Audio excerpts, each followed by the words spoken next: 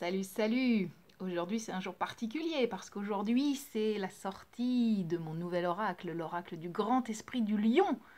Et ce lion, il pousse son premier rugissement national. Donc pour fêter ça, je vais vous proposer un tirage. Mais juste avant, je vais quand même vous le présenter, ce jeu. Parce qu'il est vraiment, vraiment particulier. Donc d'abord que je vous raconte un peu rapidement comment je l'ai créé. Alors, ça se passe à partir de mars 2020. Vous savez qu'il y a eu euh, la pandémie, il y a eu le confinement. Et justement, le confinement, moi, ça m'a donné l'occasion de vraiment me, remettre au yoga et me remettre à la méditation euh, quotidienne, tous les jours. Et au fil de ces euh, méditations, visualisations que je faisais, eh ben, la figure du lion s'est imposée à moi, elle s'est mise à apparaître dans ces visualisations de plus en plus et à me transmettre des messages. Et au bout d'un moment, il y avait une telle récurrence de tous ces lions que je voyais partout que j'ai vraiment compris que ce lion avait quelque chose à me transmettre et j'ai noté tous les messages qu'il m'avait donnés. Et quand j'ai eu tous ces messages, je me suis dit j'ai envie de faire un oracle avec ça parce qu'il y a tellement de, il y a tellement de chaleur, il y a tellement de flamboyance, il y a tellement de lumière solaire dans la présence de ce lion parce que c'était pas un lion euh, juste euh, comme l'animal, enfin même si ça avait évidemment le, la tête, euh, enfin ça, ressemblait tout à fait à un lion, mais c'était un lion un peu, un peu, un peu sublime, un peu pas extrême, mais un peu extrapolé. Vous voyez, c'était, c'était vraiment comme, comme Aslan dans Narnia. Et donc je me suis dit que ce lion, il avait vraiment quelque chose à me transmettre, et c'est comme ça, c'est comme ça qu'est né cet oracle. C'est vraiment le fruit de tous ces, de tous ces messages que j'ai canalisés euh, au fil de ces mois. Donc l'oracle a été écrit par moi, il a été illustré par euh, Guillaume Gaspel, il contient 52 cartes et il y a vraiment une, une structure dans, dans l'oracle. Alors je vais vous montrer quelques cartes, je suis désolée, il est possible que ma tablette vous fasse des mises au point un peu relou pendant que je vous présente ça. Donc, y a, comme je vous dis, il y a vraiment une gradation. Hein. c'est vraiment comme un, bah, comme un voyage. Je m'aperçois qu'à chaque fois que je crée, j'ai toujours besoin de vous proposer un voyage. Il y a vraiment toujours quelque chose comme un parcours qui se fait. Donc, il y a évidemment des cartes. Je ne vais pas toutes vous les montrer. Euh, ça, je sais que de toute façon, il y aura des vidéos euh, de, blogueuses qui sauront le faire beaucoup mieux que moi et qui, auront tout le matos qui va bien, donc elles pourront faire ça aux petits oignons. Mais je vais quand même, je vais quand même essayer de vous présenter dans les grandes lignes toute l'identité du jeu.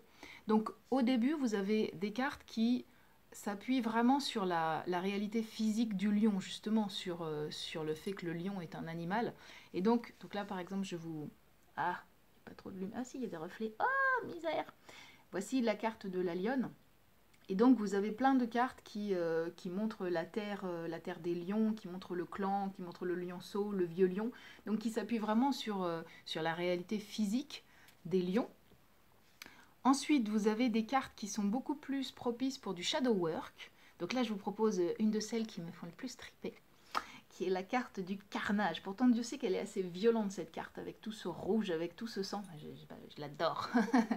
Vraiment, je l'adore. Je dois avoir une connexion spéciale avec la colère. Je ne sais pas. Mais en tout cas, j'adore cette carte. Et il y a plusieurs cartes qui sont vraiment euh, propices pour du shadow work. Vous avez une carte sur la bataille, une carte sur l'assaut. D'autres cartes aussi qui sont qui s'appuient sur des éléments un peu plus euh, négatifs, euh, enfin un peu plus un peu plus. Euh, vous avez aussi bien entendu ben, l'aspect astrologique, parce que le lion, c'est aussi, euh, un signe. D'ailleurs, moi, je suis ascendant lion et Guillaume, il est lion. Donc, on était quand même tout à fait, euh, tout à fait indiqué pour créer un jeu comme celui-là. Après, vous avez les cartes aussi qui reprennent des personnages mythologiques liés au lion. Donc, vous avez par exemple la déesse Sekhmet, et j'adore cette carte. Et vous avez, euh, il y en a d'autres, il y a le lion de Némée, il y a le lion vert de l'alchimie, et vous avez, bien entendu, ça c'était incontournable, ça, il ne pouvait pas ne pas y avoir cette carte-là. Est-ce que vous me voyez venir? Est-ce que vous me voyez venir? Il y a le lion d'ose. Bah bien sûr, bah bien sûr, vous pouvez pas ne pas avoir le lion d'ose. Pensez donc, pensez donc, une fanatique comme moi du magicien d'ose. Bon, en plus, cette carte, est-ce qu'elle n'est pas, est-ce qu'elle n'est pas... J'adore cette et puis ensuite, vous avez des cartes plus symboliques, avec des thématiques, euh, des thématiques euh, symboliques. Donc par exemple l'union sacrée, donc l'union sacrée entre le masculin et le féminin, ou la carte de l'amitié, donc front contre front, c'est une carte qui parle d'amitié. Et enfin, donc on, continue la progression et à la fin du jeu, vous avez toutes les cartes que je vais, euh, que je vais qualifier de spirituelles, vraiment les cartes les plus qui représentent les messages les vraiment les plus peut-être les plus importants du jeu, mais en tout cas ceux qui ont la plus grande portée spirituelle.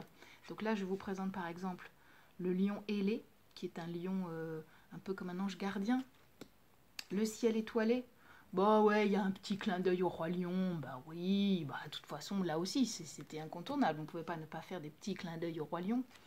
Et, donc là, vous avez la carte du temple sacré, là, c'est petit clin d'œil à, Narnia, hein, justement, à Aslan, of course. Et l'oracle s'achève évidemment avec la carte du grand esprit du lion, qui est la carte euh, de l'aboutissement. C'est un peu comme la carte du monde, finalement, dans le, dans le tarot.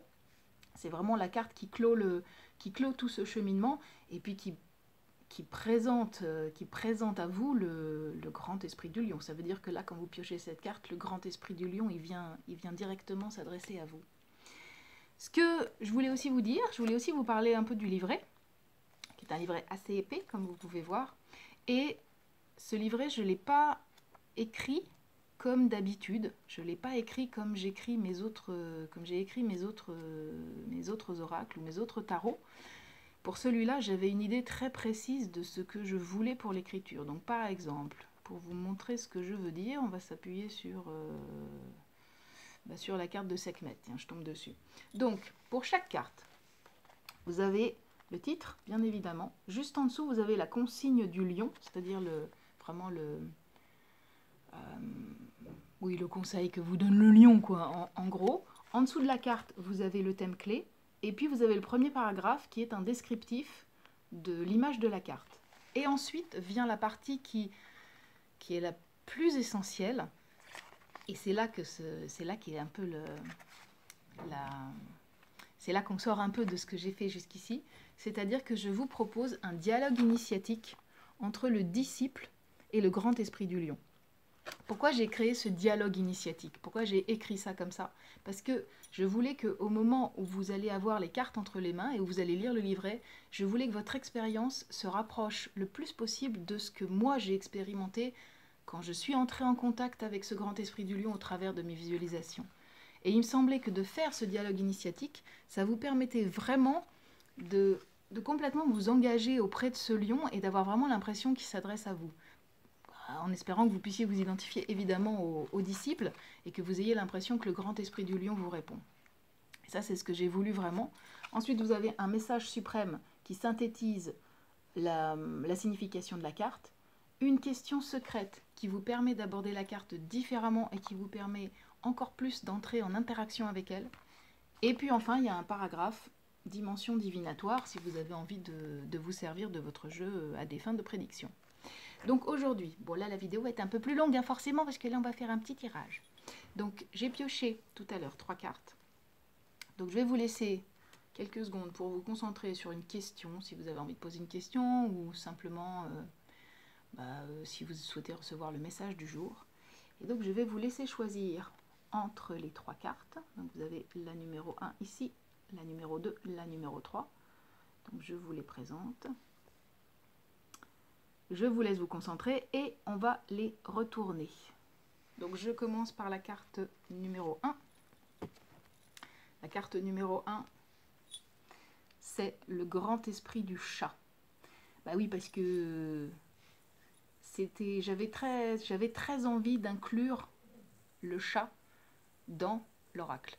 Parce qu'il me semble que euh, les chats, c'est un peu, euh, c'est nos petits lions du quotidien c'est la façon dont on peut voir dans notre vie de tous les jours euh, des petits lions. Parce que des vrais lions, c'est quand même moins évident. Alors, qu'est-ce que ça veut dire si vous avez pioché cette carte? Comme vous le voyez, c'est une carte qui parle de... Donc on est dans un temple égyptien, et puis euh, on a une statue dorée d'un dieu chat, et tout d'un coup l'esprit de ce chat apparaît. Donc c'est une carte qui parle de mystère. Alors je vais vous lire le texte. Donc, le grand esprit du chat, la consigne du lion, c'est dévoile le mystère. Le thème clé, c'est le mysticisme. La carte, comme je vous le dis, montre l'intérieur d'un temple égyptien. Il y a la statue d'or dédiée au culte du grand esprit du chat et au-dessus d'elle, l'esprit nous fixe de ses prunelles vertes pour nous aider à décoder les grands mystères de l'humanité. Alors, le dialogue initiatique. Le disciple. Le regard de ce chat me transperce. Mais que vient faire ce petit dieu égyptien parmi ses grands frères lions? Le grand esprit du lion. Les chats, à leur façon, sont aussi des félins, mais domestiqués, apprivoisés, et de taille plus compatible avec une cohabitation humaine. Ils sont les seuls fauves que l'homme citadin peut croiser. Il est rare de rencontrer un tigre ou un lion dans les grandes villes. En outre, le chat a des pouvoirs mystiques spécifiques que même le lion peut lui envier. Lesquels? C'est un être entre deux rives, à la fois sociable et sauvage. Son apparence, belle, douce, gracieuse, contraste avec son caractère indépendant et hautement sélectif. S'il intègre parfaitement dans l'imagerie du foyer, non pardon, s'il s'intègre parfaitement dans l'imagerie du foyer, roulé en boule près de la cheminée, il est aussi le totem d'une mythologie ésotérique où il règne parmi les divinités. Et quel est son message pour moi? Il t'invite à percer des mystères, à te plonger dans les sciences les plus lointaines et peut-être les plus occultes pour comprendre l'héritage de toutes les générations qui t'ont précédé. Cela veut dire que je dois étudier le passé? Et aussi lire des livres de sagesse, interroger des mentors, consulter des oracles, développe un lien avec le paranormal cœur de lion et dévoile tous les mystères qui t'intriguent. Parce qu'à chaque fois, vous verrez que le dialogue euh, avec le, grand esprit du lion se, se, termine par une petite phrase oui. Il appelle le disciple cœur de lion. Alors le message suprême pour cette carte. Elle vous invite à déchiffrer l'énigme. Laissez-vous guider par votre chat intuitif intérieur pour ouvrir le codex parvenu récemment entre vos mains et décrypter le message qu'il contient. Consultez aussi des sources inspirantes de sagesse, mais sachez que la réponse que vous attendez est avant tout d'ordre spirituel et mystique. Donc si vous avez pioché cette carte, ça veut dire que là vous êtes quand même dans des questionnements euh, qui, sont, euh, qui sont vraiment fondamentaux et, qui, sont, euh, qui sont à même de transformer votre vie spirituelle. Alors la question secrète, je vous montre la carte. Donc la question secrète, qu'avez-vous envie de demander au grand esprit du chat? Fermez les yeux, demandez, écoutez sa réponse. Et la dimension divinatoire, cette carte annonce quelque chose de très puissant au niveau ésotérique ou mystique, peut-être l'émergence de pouvoirs nouveaux en vous, médiumnité, canalisation, prémonition, ou peut-être l'apparition d'un élément surnaturel qui va vous apporter une force et une aura considérables. Alors, carte numéro 2, si c'est celle de votre choix, vous avez le lionceau. Mmh, il est joli le lionceau. Alors, le lionceau. Le lionceau. Ah Donc la consigne du lion, c'est amuse-toi. Le thème clé, c'est l'insouciance. Donc la carte montre un lionceau au, au cœur d'une nature printanière, éclairé par un doux soleil. Émerveillé par la beauté de ce qui l'entoure, le jeune félin joue avec les papillons qui volent près de lui. Le dialogue initiatique. L'amusement n'est-il pas contraire à la concentration? La dispersion l'est, pas l'amusement. S'amuser de tout, s'émerveiller d'un rien, s'enthousiasmer sans cesse sont de précieux atouts pour rester axé sur ses projets et pour prendre du recul par rapport aux événements. Et c'est aussi une fontaine de jouvence pour le cœur. La vie des adultes permet-elle vraiment l'amusement? Il est certain que tout parcours comporte des épreuves et des moments douloureux. Raison de plus pour garder en soi de l'espace pour la gaieté. Mais comment puis-je m'amuser? Offre-toi des distractions, Consacre du temps à des activités qui t'amènent du plaisir, vois des gens qui te font rire, va vers ce qui fait naître en toi de la bonne humeur. Ce n'est pas toujours si facile. C'est pour cela que tu dois t'y appliquer pleinement et considérer ça comme ta mission du moment. Si tu sais t'amuser en toute occasion, ta vie sera joie et ton âme une fête. Alors n'attends pas une seconde de plus, petit cœur de lionceau, et amuse-toi. Le message suprême. Cette carte vous invite à retrouver le goût de la joie par exemple en réinsérant plus d'insouciance dans votre vie actuelle, mais aussi en vous réappropriant la sensation que tous les possibles sont devant vous, en bourgeon, emplis d'un potentiel infini. Vous pouvez chaque matin prendre un nouveau départ pour réorienter votre destin. La question secrète Si vous, pouviez, entrer dans la carte, comment joueriez-vous avec le lionceau? Votre réponse vous mettra sur la voie de ce qui vous fait du bien dans la vie. Et la dimension divinatoire, cette carte annonce un retour à plus de légèreté. Si vous avez traversé des moments difficiles aux énergies lourdes, le lionceau vous assure que fluidité et apaisement reviennent dans votre vie et vous ouvre une période où tout peut redémarrer.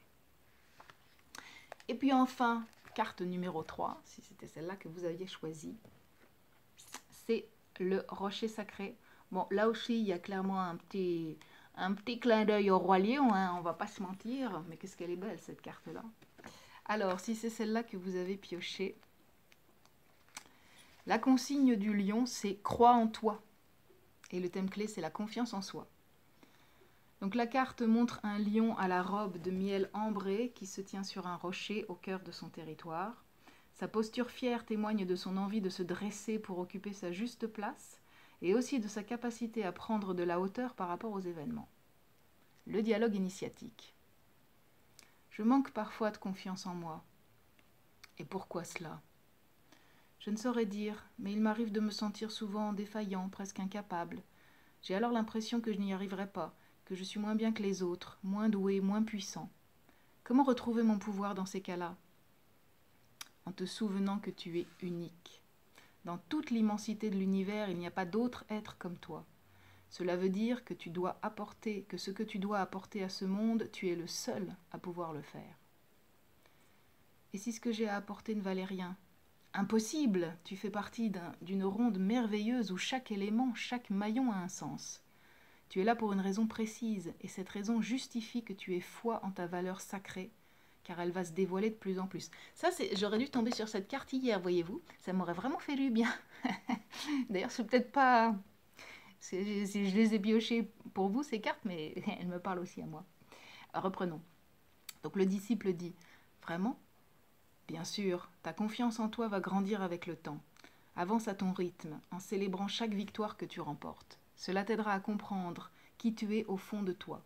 Mais surtout n'oublie pas ceci, si tu crois en moi, tu dois croire en toi, car moi je crois en toi. Pas évident à dire cette phrase. Alors cœur de lion, cesse de douter et crois en toi. Donc le message suprême, connectez-vous à votre puissance intérieure, passez en revue tout ce que vous avez su réaliser jusqu'à présent et célébrez-vous enfin. Cessez de regarder à la loupe vos défauts, au contraire, prenez de la hauteur et observez votre identité dans son ensemble. Soyez fiers d'être qui vous êtes. Vous avez une place importante à occuper, alors arrêtez la modestie et montrez-vous dans la lumière en haut du rocher sacré. Donc la question secrète. Imaginez que vous êtes ce lion et que vous contemplez ce que vous avez accompli jusqu'ici. Que voyez-vous? Et la dimension divinatoire, cette carte annonce un test initiatique. Vous allez devoir montrer de quoi vous êtes capable. Si vous vous laissez manger par le trac, vous serez vaincu d'office. Mais si vous avancez avec panache, en étant sûr de vous, la victoire vous attend. Inch'Allah. Donc c'était le tirage avec l'oracle du grand esprit du lion. J'espère que ça vous a parlé. Euh, ben là, je fais une vidéo qui est beaucoup plus longue que d'habitude, mais c'est normal parce que j'avais beaucoup de choses à vous présenter. Je vous dis à demain. Je pense que demain, d'ailleurs je vous remercie parce que vous m'avez posé plein de questions super intéressantes. Je pense que demain je vais y, répondre. Si vous avez d'autres questions, n'hésitez pas à me les mettre en commentaire sur n'importe quel sujet.